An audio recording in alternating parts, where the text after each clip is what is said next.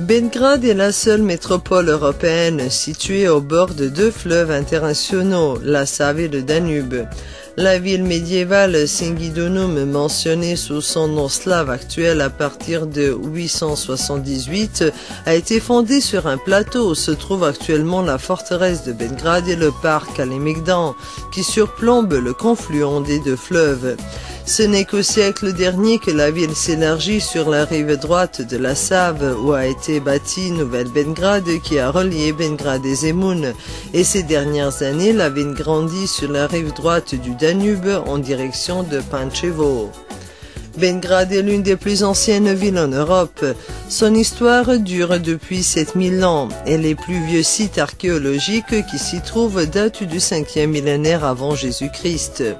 Sa situation géographique exceptionnellement favorable en fit la cible de nombreux conquérants, s'y succédaient Celtes, Thraces, Romains, Huns, Goths, Byzantins, Hongrois, Turcs. Belgrade a été conquise par 40 armées et elle renaissait des cendres 38 fois.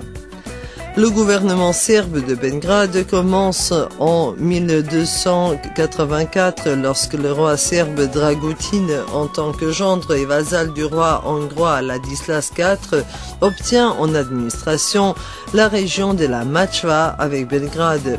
Ce fut une période d'installation massive de la population serbe dans la région et du renforcement de l'influence de l'église orthodoxe serbe. Et l'église cathédrale nouvellement construite était le symbole de la puissance et de la richesse du jeune État serbe. Après la mort du roi Dragutin, son frère Milutin le succéda au trône et régna pendant une brève période car la ville fut conquise et rasée jusqu'au fondement par les Hongrois en 1319.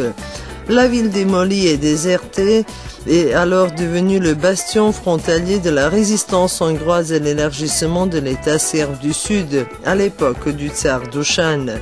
C'est dans un tel état que Belgrade se trouve au XVe siècle lorsque les Turcs, nouvelle grande force conquérante, entrent sur la scène historique de l'Europe. En voulant être prêt à résister l'invasion turque et avoir un puissant bastion au bord de la Save et du Danube, les Hongrois autorisent la construction de Belgrade à l'époque du despote Stefan Lazarevich. Il a régné à Belgrade de 1403 à 1427 et c'est l'époque du plus grand essor de la ville. Belgrade n'est pas seulement la capitale de l'État serbe mais aussi le plus grand centre économique, culturel et religieux.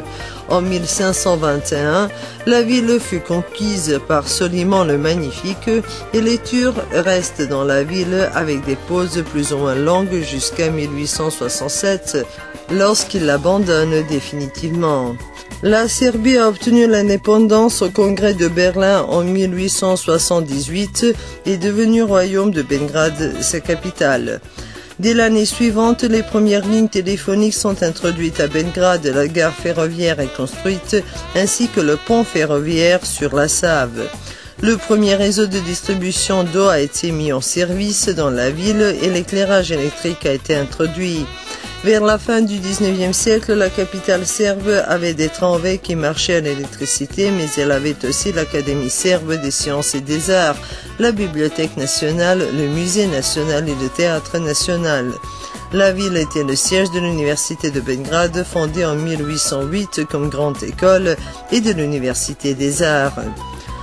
Au cours de la Deuxième Guerre mondiale, Belgrade a été dévasté à plusieurs reprises avec beaucoup de victimes. Ainsi, la capitale serbe n'avait que quelques centaines de milliers d'habitants lorsque la reconstruction a commencé. À présent, la ville compte environ 1,6 million d'habitants.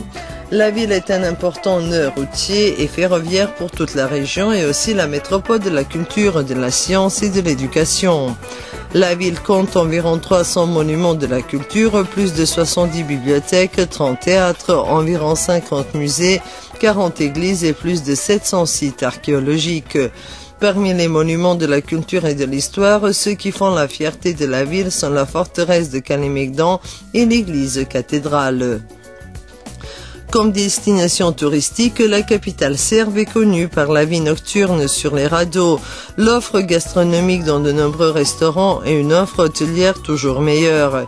À proximité de la ville se situe lieu de pique-nique dans les montagnes Avala et Kosmaï et dans la ville même il y a la grande île de guerre avec un centre d'observation de quelques 200 espèces d'oiseaux et 50 espèces de mammifères. Belgrade a aussi son bord de mer, l'île et la plage d'Ada Tiganlia à 4 km du centre-ville. C'est une presqu'île au bord de la Save qui fut jadis une île et aujourd'hui des centaines de milliers de baigneurs se rafraîchissent sur ces rives de gravier en été. Ils ont la possibilité de faire du sport dans différentes disciplines le long de toute l'année. Les touristes qui viennent à Belgrade ne doivent pas omettre de visiter Skadarlia, quartier de bohème du 19e siècle, ni la zone piétonnière Knezia Mikhailova, rue de Prince Michel, qui en termes d'urbanistique date encore de l'époque romaine.